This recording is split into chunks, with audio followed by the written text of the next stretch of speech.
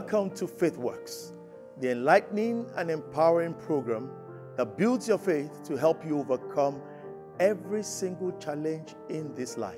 My name is Kayode Adeshoga. I'm your host. I want you to sit back, listen, and be blessed. God bless you. The only place Satan can stop you is the wisdom of men. And that's where he attacks. I prayed for a lady and I said, Let's agree in prayer that the Father will breathe into you the breath of life and you will conceive. And we agreed. Then she came the next month. I said, Oh, I said, What's the problem? So I saw my period. Ah, I said, You've ruined everything. I said, You have put your faith in the wisdom of men. Who cares whether you see your period or not? Your faith should not be in that system that fails. Even ordinary watching, there's this medical channel. Um, there's this medical channel, it's not geographic, it's one something where there's strange deliveries and they see women. There's a lady who was pregnant for eight, uh, seventh month. It was in the seventh month. She went to play basketball. She jumped and collapsed. And they rushed her to the hospital. And the doctor said she's seven months pregnant. The mother said, It's not possible. I've been living with her in the house. She's been seeing her menses every month. How can that be? You were depending on the wisdom of men. It fails. It fails. One went into labor and didn't know she was pregnant. Oh, you don't watch it? It happened. We see. Didn't know she was pregnant. Go to the hospital, say you're pregnant. Say, what? But I've been seeing my man menses. That's the wisdom of men. God said, don't put your faith in it. Put your faith in the wisdom of God that sometimes makes foolishness the wisdom of men.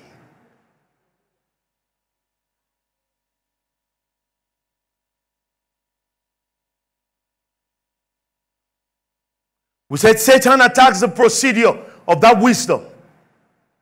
And while you believe that you're pregnant, you start seeing your menses. Then he tells you, you are not pregnant. If you agree with him, Bible says, if two shall agree as touching anything on that, he didn't say if two Christians. If two, whether spirits and human, it doesn't matter. If two shall agree on earth, if you agree with Satan, that's the end of that pregnancy. So he tells you, no, you're not pregnant, you're bleeding. Right? Praise the Lord.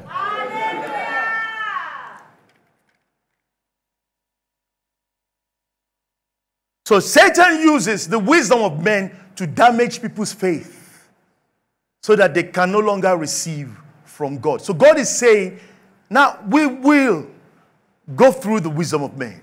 It's one of the procedures. And there's nothing wrong in it. But God says, don't put your faith in it. All right? You can go through a surgery. It's the wisdom of men. It's okay. Don't put your faith in it. You can take drugs. It's the wisdom of men. Don't put your faith in it. Put your faith in God who can make the drugs work. Am I communicating? Put your faith in God who is the chief surgeon himself, who worked on Adam. And when Adam woke up, he didn't complain of any pain despite the sewing back. The chief great surgeon, the first to clone a human being, they're still trying to clone. Eve is a clone. God did not breathe into Eve. Eve was cultured from stem cells from Adam. Bible says he brought out the ribs, cultured it, but it didn't take time. It was supernatural. Boom! Eve appeared. He didn't breathe into Eve. He didn't form Eve from the, from the ground. So Eve is a clone. It's just trying to clone. 4,000 years. God did the first cloning. 4,000 years ago. Jesus. The first botanist. The first pharmacist. The first general practitioner when he prescribed figs for King Hezekiah. The first mention it in medicine is number one. Anything, any med. I tell people, doc, that's why I don't, I have respect for the medical practice. One day, a sister said, I don't want to do a CS. I don't have normal delivery. I said, No, I won't pray for that. I said, Follow the doctor's advice. I said, You have nothing to worry. I said, After the CS, you look healthier than those who pushed. and she looked healthier than those who didn't push. By the third day, when they were visiting, even the people were looking tired, she was up like this, going up and down. Third day. Praise God. Praise Jesus. Romans chapter 4. God is saying the church should begin to exhibit faith in the systems, in his wisdom. That's what he used. And you know one thing, Satan doesn't understand that wisdom. The Bible says, had the devil known, he would not have crucified the Lord of glory. How did a being on the cross save your life? If you can explain it, then explain how a seed can lengthen your lifespan.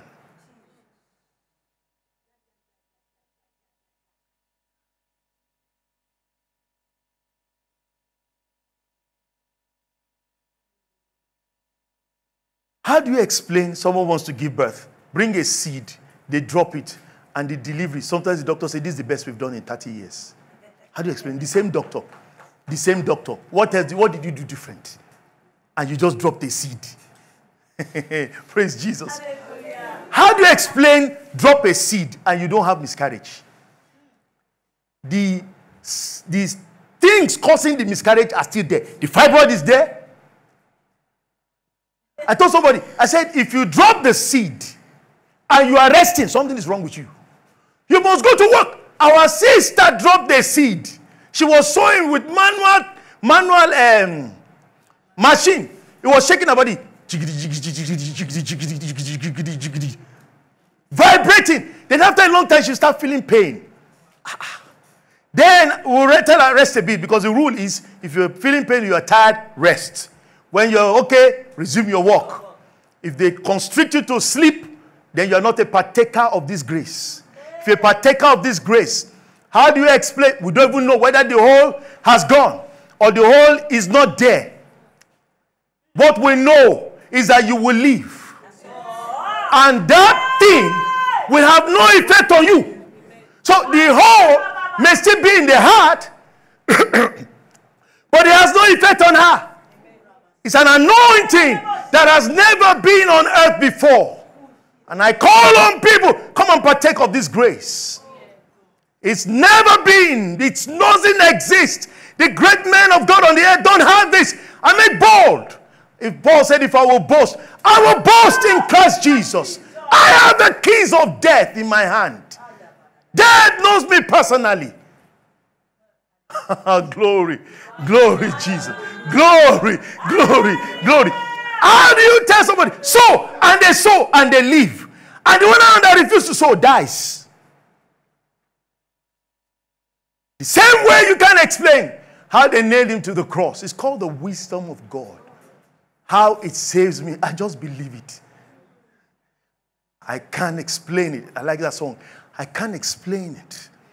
I don't deserve it, but I can't explain it. The Bible calls it foolishness to the Greeks who seek knowledge. It cannot be understood. It cannot be analyzed. Then, to show you, when she kept sewing, that year, she sold her television. Said, That's what we have best, and gave it. It was even a struggle. I didn't even know I was in the house. I just got to the car. I saw television on the back seat. How did it get there? I said, It's a seed. I said, Nope. They said, It's too late. It's too late. It's too late. I said, Okay, I can argue. Jiggity, jiggity, jiggity, jiggity. Ah, ah. That's what has taken babies out. No baby can survive with that. It's not possible. We took her to the gynae, experienced. He said, Are you doing strenuous work? She said, Oh, you have to stop it immediately. she said, Yes, sir. After she left, continue jiggity jiggity. Said, I have close to deliver and gave birth. Then the second pregnancy came. We prayed. There was no seed. She ended up in the hospital for evacuation. Then the third pregnancy came. They brought the seed. They said she has what we call placenta previa. I'm not a doctor, but I know sometimes because I've been in and out of that system. They say placenta previa. From four months, you are bleeding. They keep them in the hospital and they put buckets under them because blood is constantly dropping. Meanwhile, with placenta previa, she was going about. I said, You help me get this? Say, yes, Pastor. You help me get that. she was going up and down. When she went to the hospital, they did a scan, said, placenta previa. The chief consultant looked at her and said, You're okay, sir, I'm okay. say, Can't be. The doctor, the Muslim, oh Jesus. They're all ministers of God. Whether it's a Muslim or a Hindu, he's a minister of God. He came and said, This is a time bomb. I said, No, this is not a time bomb. He said, Oh, you people have come again. This is a time bomb. She said, I said, She's been like this since four months. Said, It's not possible. He said, But I told you, sir, in the, in the room. You forgot. Said, If you told me, would have put her here on the bed. I said, No wonder God blocked your ears when I told you. Then they said, We must hold her down. I said, have you done that stew? You want to help me? He said, No. I said, Ah. Said, Sir, please. She will come tomorrow. He said, Ah, it's okay. I'll sign. Let her come tomorrow. Quickly, let me go and do this, do this. She said she had to supply some clothes, do this. Finished everything. Then came the next day. She called me at two. All the doctors are running from me to do this, yes. They said, I'm a time bomb. when it was five, the Muslim doctor said, Hey, don't run from that woman. She's a miracle sitting down. Go and do nothing will happen. That's a Muslim doctor. He said she must bring pints of blood because placenta previa is a breached baby. Gave birth looking healthier than those that came to visit her in the hospital. It's called what made the difference? That seed, that faith in the wisdom of God.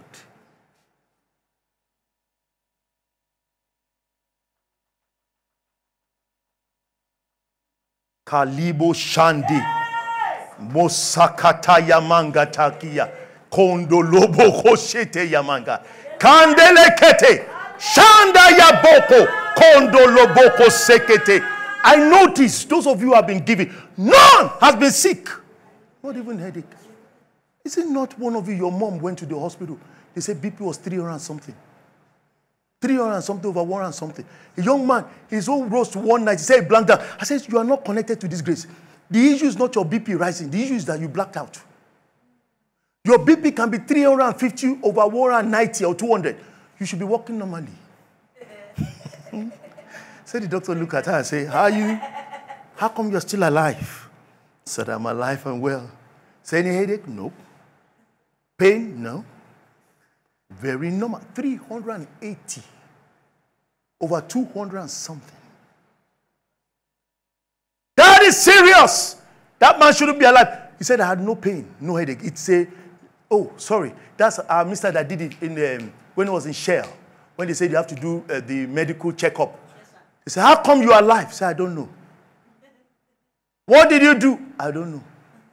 It's called the wisdom of God. How did they attain it? By sowing. Then people with one and something have stroke and die. What's the difference? The wisdom of God. He says it will bring the wisdom of men to naught. Praise Jesus. Romans 4 from verse 13.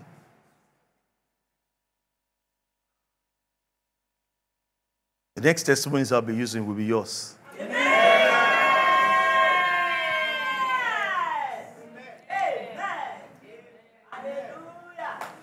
You know, when the lady told me the fiber was cancerous, you know why I told her to ignore it? Because she has sown the right seed. No, we have a sister in the house. no, they're fighting over tithe. She gives 20% every month. 20% what? Every month.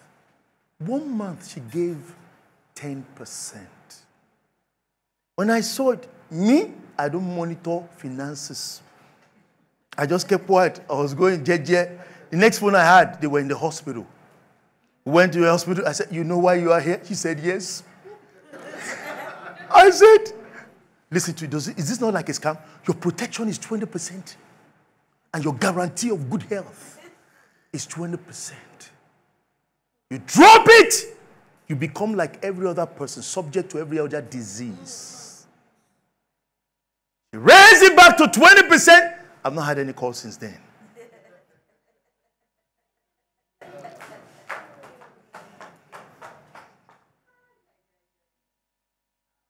Challenge anyone out there. Whatever they call it cancer, give. If you give the right seed, if you die, I will return times seven to your family. The right seed. That's why we don't put account number up. I don't want just anybody to give because there are people who reject their seeds.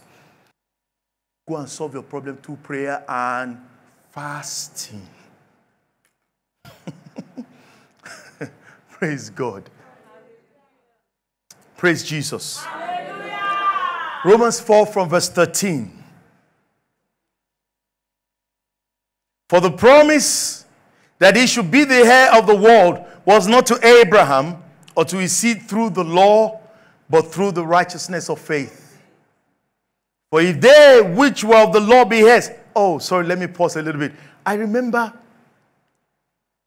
our sister, our interview was not fantastic. The interview is the wisdom of men. Good interview, they take you. Bad interview, they don't take you. All the people that have gotten jobs all had bad interviews. Lord make it clear this grace functions without the wisdom of men. It brings the wisdom of men to naught. Praise God. Hallelujah. There's so many things. I just have to Oh, Jesus. I just have to. Um... Okay, verse 14. For if they which are of the law be heirs, faith is made void, and the promise made of none effect. Because the law worketh wrath, for where no law is, there is no transgression. Therefore, it is of faith that it might be by grace, to the end the promise might be sure to all the seed. Not to that only which is of the law, but to that also which is of the faith of Abraham, who is the father of us all. As it is written, I've made thee a father of many nations. Before him whom we believed, even God, who quickened the dead, called the things that be not as though they already were in existence. Who against hope believed in hope, that it might become the father of many nations, according to that which was spoken, so shall thy seed be. Be not weak in faith. He did not consider his body now dead, by which the wisdom of men works. Neither did he consider the deadness of Sarah's womb, which the wisdom of men works. But what? He staggered not at the promise of God through unbelief, but was strong in faith, giving glory to God, and being fully persuaded that what he had promised was able to perform. Therefore, it was imputed to him for righteousness. And God was trying to make Abraham understand this that you can give birth normally. You know, the Bible makes it clear when the wisdom of God was in operation about Jesus' death, Satan had no clue. And you could see that when Sarah was to take him, Satan had no clue. He doesn't know what to do. He's confused. He's, he, he doesn't understand. He doesn't know where to turn to because he can only understand the wisdom of men and his own wisdom. He does not know or understand the wisdom of God.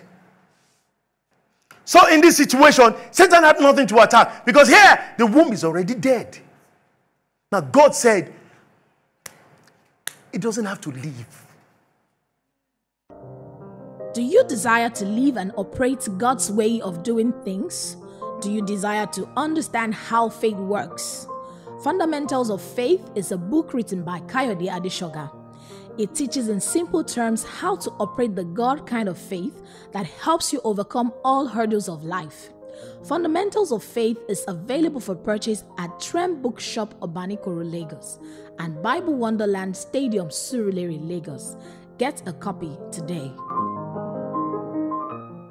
There was a lady many years back, she too had fibroid and she had a baby, they suffered a miscarriage. And then when she told me, I said, okay, she did some medical tests. They said it's a fibroid. And um, they said she should remove the fibroid. I said, no, when you're done with childbearing, we'll remove the fibroid. They said, where the fibroid is positioned will kill the baby. I said, no, it's the spirit of death that kills the baby, not fibroid. Fibroid will only make the baby uncomfortable. Let him just go through a little discomfort for nine months. He will have all the comfort, the toys, the, um, the cartoons when he comes out. That's okay. So she took in and she did what ought to be done according to the wisdom of God. Glory! They said as the baby grew, the fibroid grew.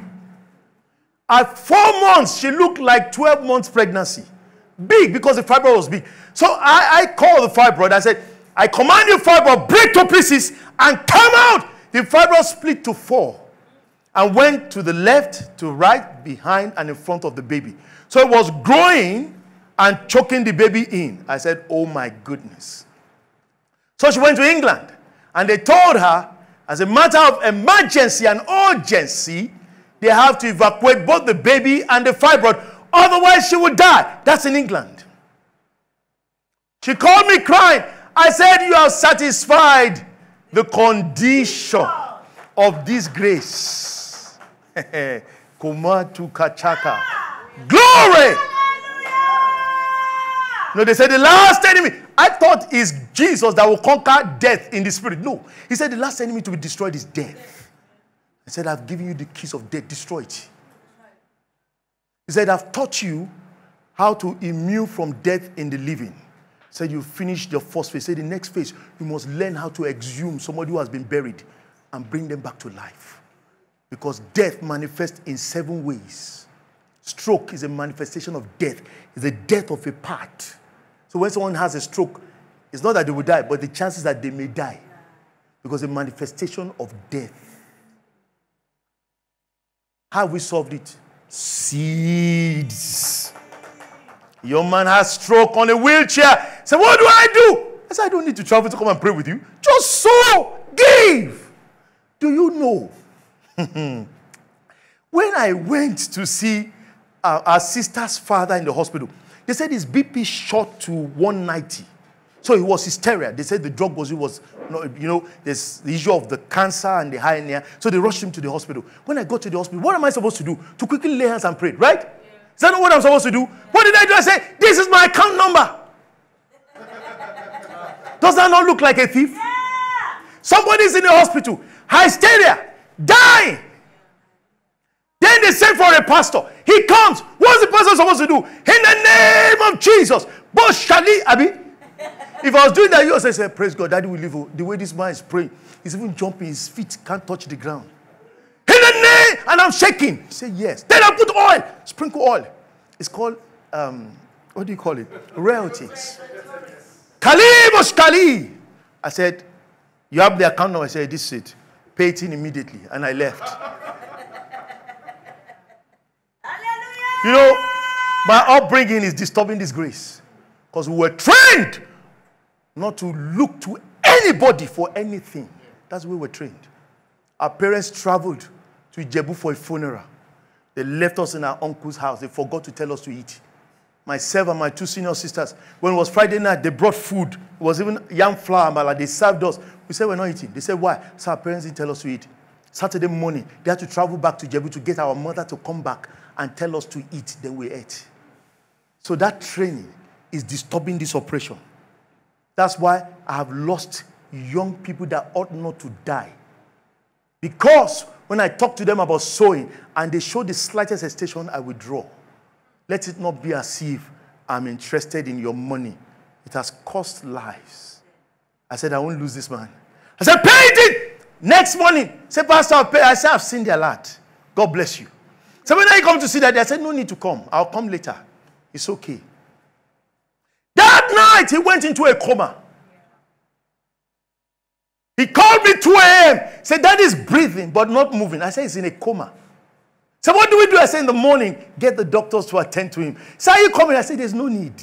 Mm, glory. That now looks like a chief scammer. You collected money. Somebody's in coma. Now you can't go. I don't need to is when there's no seed, we're running up and down. In the morning, they say he has come out of coma. I say, how is it? They say he's eating. By evening, they say he's back in coma. Say they gave him shots of um, glucose. They say his blood sugar was too low. Later again, they say he's out of coma. I say, what's it? They say he's gisting. Then later again in night, they say he slipped into the coma the third time. This time, he said in coma, he saw himself traveling. That's death now. That's another manifestation of the spirit of death, coma. When somebody is in coma, that's the spirit of death in operation.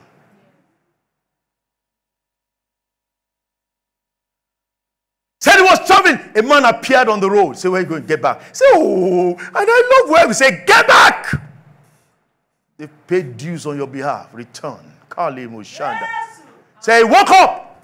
The doctor said to them, say, he has never seen. Now, when he woke up, he was in the ward with another person. As he woke up, the other man went into coma and never came or died that night. He should have died. 20,000. They credit my account. Say, hey, daddy had 10,000. Say, add 10 to it. Look at me. Ah, that's calm. Is that not, is that not like a hireling? Eh? I wonder why. Maybe the Daddy Freeze have not heard about me. they hear about me. I need them to hear about me. So I can be on Facebook and on Twitter and the nations of the world. They just put my face, this scammer. And as, they, as and I know God, as I put my face, the scammer, as those who are sick, sick, God says, so to that man. I said, glory be to God. I need the Daddy Freeze to advertise me more. Praise Jesus. The scammer, they just put my face. And God will just make sure that the people seeing it are those in major crisis. And he'll be telling, oh yeah, so, so, so, so, quickly, quickly, quickly, get the account number. Oh yeah, oh yeah, so, so, so. I need him to do the advert for me. Praise Jesus. The doctor said three comas in 24 hours. He has never seen anyone so. The man went next in the same room, two beds, went into coma and died. When I went to check him, I said, Daddy, how you doing? Say, I'm doing fine. Say, you cool? Say, yeah, I'm cool. So I'll see you. Take it so long. Say, yeah, Pastor. Hmm. The seed is speaking. How do you explain that? And so God told Abraham, now that your organs are dead and Sarah's womb is dead, it's time to see the wisdom of God. For those of you who have sown, I bring you good news. Your seeds have matured. Your fruits are ready. They're in your barns. Let me tell you how the anointing works on me. If I look at you, there's a sister of ours. She'll be giving birth very soon. Before she came to tell me she was, but anytime I see her, I feel as if she wants to tell me, Oh, Pastor, there's something I want to tell you. Then she walk past. It's okay. Then I'll say, There's something I want to tell you. Then she walk past. There's something I want to tell you. She walk past. When I see a call on the phone, instantly I know what has happened before I pick it up. When I saw one of our sisters on the call, I said, Hey! I come out, it has happened. It does happen. But when I pick the call, he said, Pastor, I want to talk about your devotion. Eh, hey, oh, Jesus, okay. Praise God. And the Lord said, That expectation is what I have done. That is sure and sure and sure. And I tell her, I say, This person wants to tell me three things. There are three things. So every time I see the call, eh, hey, I'll say it has happened again. When she go, hey, Pastor, and I was service what's going to happen? Because that's the way the anointing works. Do you know what I've been having, expecting from all of you? Do you know what has been coming, expecting from all of you? Breakthrough news. News of monumental breakthroughs. That's the way the anointing works. Each time I'm expecting something, when somebody is to die, each time I go to check somebody in the hospital and the person is about to die, when I approach the hospital, I stop. I, then I take a deep breath and say, Oh, I hope I still see him. Then I come. Well, I say, Praise God, he's still there. That means he's about to die. 99%, 100%, they all died, except those that sold. When they're in the hospital, say, Don't worry about that one. Oh, they'll call me, he's bubbling all over the place now. They always leave. Well, it works with my phone and it works with contact. If I see somebody, I say, oh, she wants to tell me she's just been promoted. Hey, Pastor, I want to ask, I need um, I need you to pray for me. My father is trying. Oh. Then I pray for the father and goes, nine times out of ten, hundred percent, not nine times out of ten, a hundred and one percent, they're going to tell me they are promoted. And the Lord said, Your mind You have to protect it because it is working with the anointing. That each time, you know, I was telling a lady some time ago, and it's been happening before. Each time I say, ah, this lady should have been promoted. This lady should have been promoted. Each time I was, I say, she should tell me she's promoted. She should tell me. So about two weeks ago or something, about a month ago, I said, come, how far was your promotion? Said I was promoted this. I said, ow! I kept saying, I kept feeling she wanted to tell me she's been promoted. And then she got promoted. That's the way the mind works with the anointing. So if I'm expecting something negative, it means evil is around the corner. Now, let me tell you, I've been expecting good all around me. I believe you've been blessed by that message. And I know your faith has been built up. And I know all those challenges in life are all going to fall before you in the mighty name of Jesus. I want you to know Hebrews 12 says Jesus is the author and the finisher of our faith. You need him in this walk. And so if you're out there and you don't have Jesus in your life, I want you to say after me, say, Dear Lord Jesus, I believe you're the only begotten Son of God. Come into my life, be my Lord and my Savior. It's as simple as that. Displayed on the screen is diverse information on how you can interact and reach out to us. Take advantage of it, and I'll be expecting to hear from you. Till I come your way again, same time next week, I want to tell you don't give up. Faith works. It's working and it will work in your life. God bless you.